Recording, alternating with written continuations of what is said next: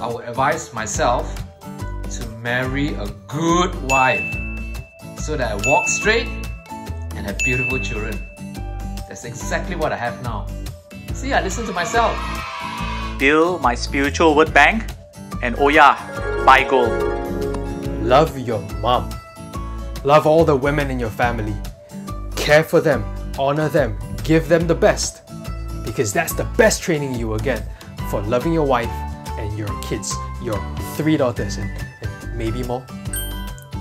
I would take every woman possible just to talk and crack ridiculous jokes with my girls and most importantly be the friend that they need.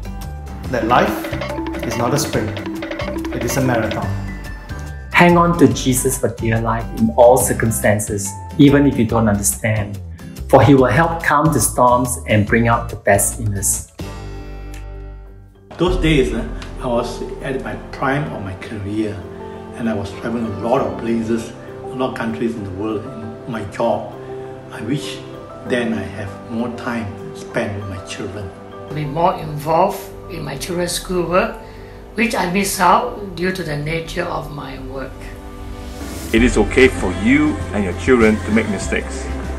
Just remember to walk with them as a friend and as a family. Put in quality time and energy when your children are young and have unbounded energy. To deal differently with each child according to their own love languages and uh, also to build more prayer altars, right? intentional prayer altars and word time with the kids as they're younger. To spend more quality time with my children when they were younger. Before long, you know, the, the growing years, I miss them, and the, their growing years just ran ahead of me.